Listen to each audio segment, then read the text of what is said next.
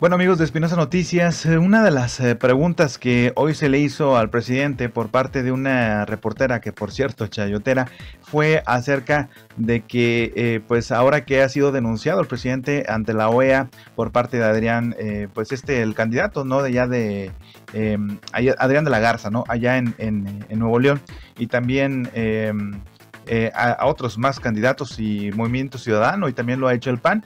Entonces, ¿qué opinaba él, verdad? Si ahora le iba a bajar el tono a lo que él habla en las mañaneras, a lo cual él respondió pues simplemente de que pues él va a hablar lo que tiene que hablar, ¿no? Así es que ellas saben que él no se anda por las ramas. Vamos a ver lo que pasó ahí y ahorita regresamos para comentarlo aquí en Espinosa Noticias TV.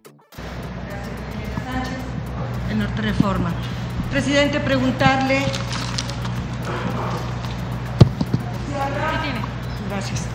¿Habrá algún cambio en el tono de sus conferencias mañaneras luego que se siguen acumulando las denuncias ante la OEA eh, por eh, alguna injerencia que están señalando en el proceso electoral? Eso por un lado y por otro, si en esta semana finalmente se presentarán las denuncias en contra de los exgobernadores eh, de Coahuila, como lo mencionó la semana anterior. Bueno, este Estamos en víspera de las elecciones y desde luego que se está hablando del tema. Esto es eh, normal. No solo se presenta este fenómeno en México, sino en otros países. Cada vez que hay elecciones hay efervescencia política lo que tenemos que procurar todos los mexicanos es que se garantice que las elecciones sean limpias y libres, que sean los ciudadanos, mujeres, hombres, los que decidan sin presión, sin eh, tener que recibir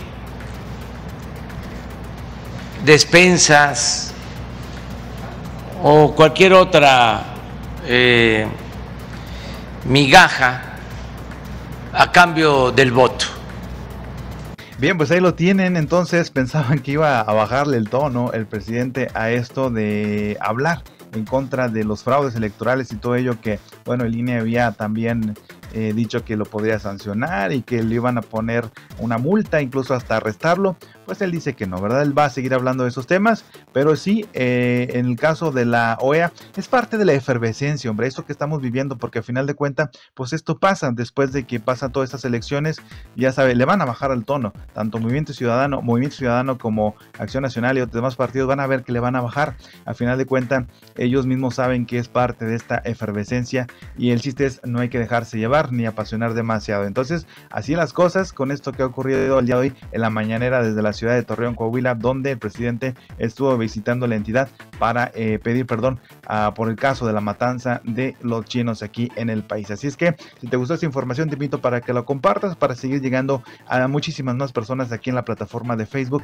y también de YouTube. Soy Iván Espinosa, nos encontramos en un siguiente video.